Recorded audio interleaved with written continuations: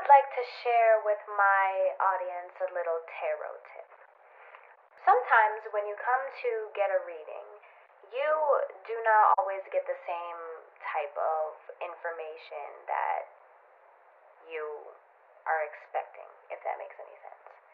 So, for example, I had a client come to me and they wanted to ask if they belonged with a certain person, if they should be with that certain person. Okay? So, this person seemed pretty toxic by description. Now, when the reader reads, they can't really tell anything based off of personal feelings or personal opinions. We can only go by what the cards say and tell the client what the cards say, not our personal thoughts, okay? She obviously didn't care about all the red flags that everyone else was seeing. So,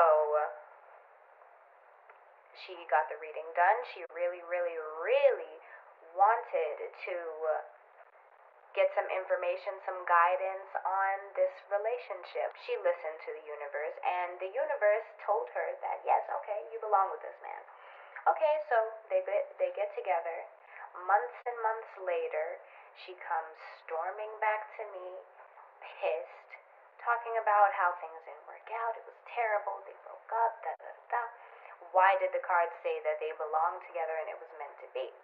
Well, sometimes the universe makes things happen, puts us in certain situations just so we can learn the lessons that we need to learn to become the person or people that we need to become.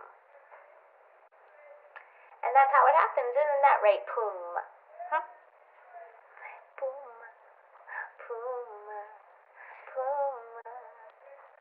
Readings always have deeper meanings than you think. The point of a reading is for guidance, it's for answers, it's not to hear what you just want to hear. So, if you would like a reading, please follow me, contact me.